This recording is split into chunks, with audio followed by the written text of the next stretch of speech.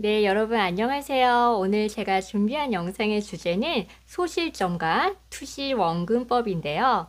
이 소실점과 투시 원근법은 우리가 공간이라는 것을 그리기 위해서 반드시 반드시 필요한 개념인데요. 어, 쉽게 말해서 우리가 그리고자 하는 대상이나 물체가 앞에 있으면 앞에 있을수록 크고 뒤로 가면 갈수록 요런 작아지는 현상 있잖아요. 이러한 현상을 표현하는 것이 바로 투시 원근법이라고 생각을 하시면 되겠습니다. 그리고 이러한 투시 원근법을 이해하기 위해서는 우리가 소실점의 개념을 반드시 알고 있어야 되는데요. 이 소실점이라는 것은 우리가 어, 요 공간에 놓여 있는 물체에 연장선을 그었을 때, 연장선을 이렇게 쭉 그었을 때, 뒤로 가면 갈수록 흐려지다가 결국에는 없어져서 소멸되는 부분이 있어요. 그 부분을 우리는 소실점이라고 부릅니다.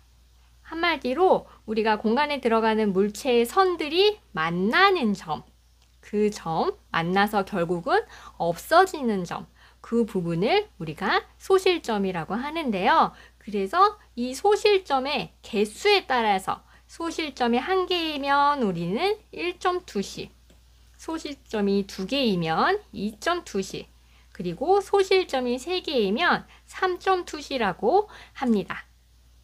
우선 소실점이 한 개인 1.2시인데요. 이 제가 1.2시에 많이 쓰이는 구도를 그냥 예시로 하나 그려놨는데요. 이렇게 보시면 건물이 뒤로 가면 갈수록 이제 작아집니다. 작아지는데 이 작아지는 것에 이제 이 물, 건물의 연장선을 이렇게 한번 이렇게 쭉 그어보면 만나는 지점이 이렇게 있거든요. 요 만나는 지점이 바로 이 작품, 이 1.2시의 소실점이 되는 부분이라고 할 수가 있는데요. 어, 이렇게 이제 양옆으로 빌딩이 이제 놓여 있는 1.2시 같은 경우는 길게 뻗어 있는 길이나 아니면 이렇게 양쪽에 건물이 나란히 이어져 있는 그런 이제 풍경에서 많이 사용되는 투시라고 생각을 하시면 되겠습니다. 네, 이번에는 소실점이 두 개인 2.2시인데요. 소실점이 두 개라면 그럼 소실점은 과연 어디에 두 개가 있는 걸까요? 네, 화면에 양쪽에 이렇게 이렇게 두 개가 있는 게 바로 2.2시인데요. 제가 아까 소실점은 이 소실점은 그 물체의 연장선이 만나는 곳의 끝부분이다 라고 아까 말씀을 드렸잖아요. 그러면 여기 또 마찬가지겠죠? 선이 이렇게 이렇게 이렇게 만나겠죠. 그리고 이쪽도 마찬가지로 여기로 이쪽 이렇게 그리고 여기도 이렇게 그래서 2.2C의 모습은 대략 이런 마름모 같은 형태가 나오겠네요. 그죠? 그래서 요 2.2C 같은 경우는 건물 건물 등을 입체적으로 표현할 때 많이 사용하는 구조라고 생각을 하시면 되, 겠습니다 건물 그리면 이렇게 바로 그리시면 되겠죠. 건물을. 이렇게 건물을 그리면 훨씬 건물이 입체적이고 원근감 있게 보이게 되겠죠. 이렇게, 이렇게, 이렇게. 네, 2.2C의 모습은 대략 이런 모습이라고 생각을 하시면 되겠습니다. 네, 마지막으로 소실점이 3개인 3.2C인데요. 이 3.2실 같은 경우는 공간감이 더욱 적극적으로 느껴지는 원근법이라고 해서 공간 원근법이라고도 부릅니다. 그러면 소실점이 3개이니까 소실점 3개를 한번 찍어보도록 하겠습니다. 이 3.2시 같은 경우는 아까 2.2시가 화면의 양쪽에 소실점이 하나씩 있었죠. 똑같습니다. 먼저 양쪽에 소실점이 하나씩 있고 여기를 기준으로 위나 혹은 아래쪽에 소실점이 하나씩 더 있는 경우 그렇게 해서 요렇게 세 개가 있거나 아니면 요렇게 세 개가 있는 경우를 우리는 3.2시라고 하는데요. 자, 여기서는 위쪽에 그 위쪽에 소실점을 하나 찍고 한번 그림을 그려보도록 하겠습니다. 그러면 여기를 중심으로 우선 선을 선이 모이겠죠 우선은 소실점은 선이 연장선이 모이는 곳이라고 했으니까 이렇게 또 그려주고 그리고 또 이 뭐 여기로 이렇게 또 선이 모이겠죠? 이렇게 이렇게 이렇게 선이 모이겠죠? 자, 그러면 이 상태에서 과연 그림이 어떻게 그려져야 할까요? 네. 보면은 여기도 똑같이 건물은 뭐 이런 느낌으로 그려지겠죠? 자, 이렇게 이렇게 어, 약간 기울기가 조금 제가 좀 막 그려가지고 기울기가 조금 이제 삐뚤어지긴 했는데 여러분 어떤 지금 소실점이 무엇인지 뭐 이해만 하시면 되니까 이렇게 있고 그리고 이런 식으로 이번에는 이런 식으로 그려지겠죠? 그리고 조금 필요 없는 선들은 제가 한번 지워보도록 하겠습니다. 자, 네. 이게 바로 3점 투시로 그린 요 지금 건물이거든요. 어떠세요? 아까 2점 투시와 뭐가 다른 점이 느껴지시나요? 자, 2점 투시에 다시 한번 봐볼게요. 2점 투시는 이렇게 3점 투시는 이런 모양. 자, 여러분 어떤 차이가 있는 것 같나요? 소질점이 하나가 더 늘어나는데. 네, 이거 같은 경우는 이제 커다란 빌딩을 아래에서 시선이 이제 아래에서 위쪽에 있는 높은 빌딩을 바라보는 그런 느낌이 나죠? 네. 반대로도 마찬가지예요. 반대로 위에서 아래쪽을 내려다보는 것 같은 그런 건물을 그릴 때도 우리는 3점 투시를 이용하거든요. 그래서 이, 게 이제 제가 설명만으로는 좀 감이 안 오실 수도 있으니까 실제 사진들을 예시로 들어서 이 1점 투시, 2점 투시, 3점 투시를 조금 더 다시 한번 설명을 해드리도록 하겠습니다. 네, 여러분 첫 번째 사진 한번 같이 볼게요. 보시면 길이 이렇게 시원하게 쭉 뻗어 있는데 뒤로 가면 갈수록 길이 좋아집니다. 여기도 이쪽도 마찬가지로. 그래서 이렇게 연장선을 쭉 그어 보면은 여기서 만나는데요. 자, 어때요? 여기 보면 여기도 이렇게 이렇게 이 한 가운데에서 만나네요. 그러면 이 사진 같은 경우는 소실점이 한 개가 있으니까 얘는 1점 투시가 있는 사진이라고 보시면 되겠습니다. 자, 그러면은 다음 사진 한번 볼까요? 자, 이 다음 이 사진 같은 경우는 이것도 여기 흔들다리인가? 흔들다리인가 본데 음, 다리 모양을 보면은 다리가 뒤로 갈수록 좁아져요. 자, 연장선 한번 쭉 그어볼게요. 자, 여기도 이렇게 그리고 요 다리 난간이죠. 요 난간도 이렇게 난간이 이렇게 그리고 위쪽 줄 요렇게 줄 요렇게 네 그러면 여기 한 가운데서 모든 선들이 만나네요. 그죠? 그러면 얘도 1점 투시가 적용된 풍경이라고 볼 수가 있겠습니다. 이 1점 투시 같은 경우는 앞에 있는 앞에 있을수록 커지고 뒤로 갈수록 이 작아지는 이 모습이 아주 잘 드러나 있는 그런 이제 구도라고 볼 수가 있는데요. 이렇게 뒤로 갈수록 길의 폭이 좁아지고 난간의 폭도 난간의 폭도 뒤로 갈수록 점점 좁아지고 있어요. 보시면 여기는 조금 더 넓은데 뒤로 가면 갈수록 이렇게 더 좁아지고 있습니다. 여기도 보시면 이렇게 앞쪽은 이렇게 넓어요. 간격이 이렇게 넓은데 뒤로 가면 갈수록 간격이 이렇게 좁아지고 세밀해지죠. 이것도 1점 투시에 정말 좋은 예시라고 볼 수가 있겠습니다. 네, 여러분 이제 이번에는 이 사진에서 우리가 한번 소실점을 찾아보도록 할까요? 어, 이거 구도가 너무 너무 좋네요. 이거 보시면 바닥이 바닥이 뒤로 갈수록 좋아집니다. 이렇게 그리고 여기 이제 물건들을 파는 상가 부스들인데 이 부스들도 이렇게 이렇게 요런 모양으로 지금 모이고 있어요. 연천들이 이렇게 그리고 이거 보시면 여기 여러분 여기 천장 보이시나요? 여기 천장도 이렇게 요렇게 내려갑니다. 그리고 여기 보시면은 또 이제 재미있는 게 이렇게 천장에 장식 천장 벽이 이렇게 구조가 좀 특이하게 돼 있어요. 근데 이 구조도 여기가 뒤로 가면 갈수록 간격도 좁아지고 크기도 작아집니다. 그리고 여기 위에 보면은 이게 장식이랑 장식이 달려 있어요. 천장에. 이거 지우고 다시 한번 볼게요.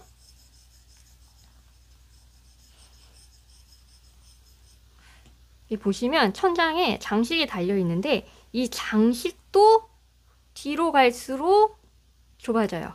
좁아지고 간격이 뒤로 갈수록 좁아져요. 이 앞에는 간격이 넓은데 뒤로 하, 뒤로 가면 갈수록 간격이 이제 좁아지고 있죠. 그리고 이거 되게 지금 구도가 너무 좋네요. 여기 보시면은 여기 전등이 있어요. 이 전등도 뒤로 가면 갈수록 작아지고 점점점 흐릿해지고 그 현재 형체가 안 보이게 됩니다. 그러면 요거 같은 경우는 지금 누가 봐도 지금 소실점이 한 개인 1.2시예요. 자, 한번 그려볼게요. 다시 이렇게 이렇게 이렇게 이렇게 요렇게 그다음에 천장도 요렇게 지금 전등도 전등도 전등도 요렇게 요렇게 요렇게 요렇게 그러면 요거는 소실점이 여기 가운데로 모이고 있죠. 그러면 이 소실점이 가운데 하나에 있는 1.2시의 정말 좋은 예라고 보시면 될 것 같습니다. 네, 그리고 어, 이거 같은 경우도 한번 볼까요? 이거 같은 경우도 건물이 이쪽으로 이쪽으로 다 향하고 있죠. 인도하고 바닥을 봐도 건물들도 이 방향으로 향하고 있고 인도도 이렇게 향하고 있고 그래서 이 요쪽 여기 요 부분을 다 향하고 있네요. 이것도 이 풍경 스케치에서 자주 쓰이는 1.2시 구도라고 보시면 되겠습니다. 네. 어, 그리고 이제 요거는 구도가 조금 달라졌네요. 여기 보시면은 요거 같은 경우는 요렇게 그다음에 밑에 바다가 볼까요? 요렇게 요렇게 요렇게 여기 지금 잘려 있긴 한데 여기가 아마 요런 요렇게 돼 있을 거예요. 그러면 요거 아까 기억나시나요? 화면에 양쪽에 소실점이 있는 건물을 나타내기 좋은 2.2시 보여주는 화면이라고 생각을 하시면 될 것 같아요. 그리고 네, 어, 요것도 마찬가지네요. 요것도 지금 이게 사진이 전체가 나오진 않아서 그러는데 이게 보시면 화면이 이 유출할 수 있어요. 여기가 이렇게 돼 있고 그다음에 여기 건물은 또 이렇게 돼 있고 그리고 가려져 있긴 한데 여기가 이렇게 돼 있을 거예요. 이렇게 돼 있고 그러면 요 요로 아 요렇게 돼 있네요. 이렇게 이렇게 돼 있네요. 이렇게 돼 있고 요거는 이제 보이진 않지만 아마 이렇게 돼 있을 거예요. 그래서 요것도 이런 식으로 양쪽에 소실점이 있는 2.2시라고 보시면 되겠습니다. 어, 네, 여러분 이게 또 구도가 다른 사진이 하나가 또 튀어나왔는데요. 어, 여러분 이 사진은 지금 어떤 투시가 지금 반영이 된 걸까요? 1.2시? 2.2시? 3.2시? 어, 여러분 있잖아요. 요거는 지금 두 가지 투시법이 섞여 있습니다. 이게 지금 보시면은 1.2시하고 3.2시가 사실 섞여 있는 사진이에요. 한번 볼까요? 이쪽에 있는 건물 한번 볼게요. 건물, 건물의 연장선 한번 그어볼게요. 이렇게. 그 다음에 인도도 이렇게 갑니다. 이렇게 가면은 이 오른쪽 끝으로 연장선이 모여요. 그러면 여기가 지금 소실점이 되는 거고 소실점이 한계가 있으니까 얘는 1.2C가 반영된 풍경이라고 보시면 돼요. 이 부분. 그런데 이제 이 사진 같은 경우는 이렇게 끝나지가 않죠. 이렇게 끝나지가 않고 요 위에 요게 이 건물이 뾰족하게 솟아있는 건물이 하나 더 있죠. 그러면 이 건물은 몇 점 두시냐? 이 건물은 지금 3.2C가 반영되어 있는 건데요. 자, 한번 같이 한번 다시 찬찬히 한번 살펴보겠습니다. 좀 지우고 자, 보시면은 이거를 우선 눈에 보이는 대로 할게요. 딱 보니까 소실점 여기 하나 있고 그 다음에 여기 여기 이렇게 이렇게 세 개가 있다고 보시면 될 것 같아요. 그래서 지금 이런 식으로 지금 이런 식으로 지금 이렇게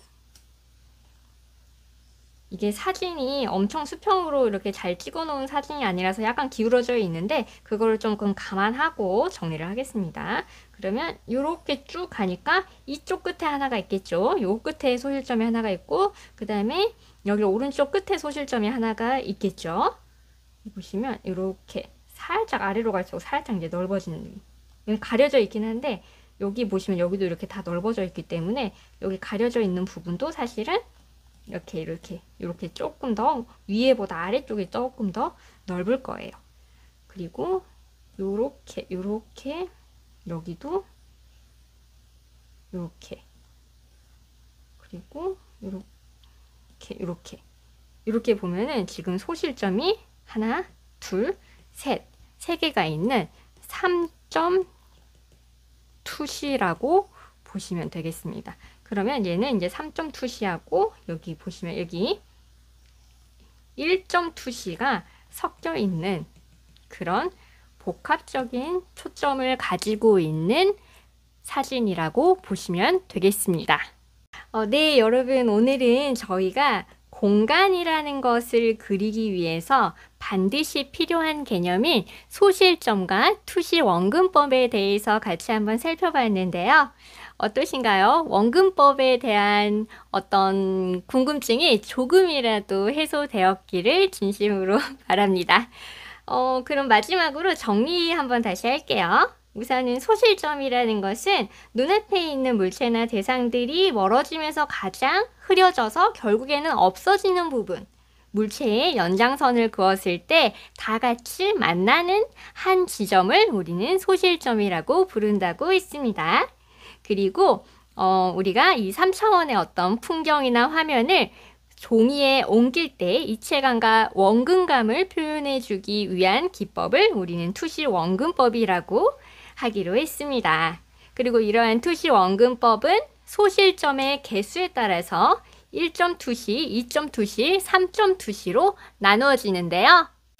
1.2시 같은 경우는 소실점이 하나로 모여져서 양옆에 있는 어떤 빌딩이 있는 길이나 음, 사선으로 펼쳐진 풍경을 그리기에 매우 어, 유용한 구도이고요. 2.2시 같은 경우는 화면의 양쪽에 소실점이 두 개가 있는 것을 2.2시라고 해서 우리가 어떤 빌딩이나 건물을 그리는데 매우 유용한 구도라고 생각하시면 되겠습니다. 그리고 마지막으로 3.2시는 양쪽에 하나씩 그리고 위나 아래쪽에 하나씩 있어서 아래쪽에서 올려다보는 모습, 그 다음에 위에서 아래쪽을 바라보는 모습을 표현하기에 굉장히 유, 용한 구도라고 생각을 하시면 되겠습니다.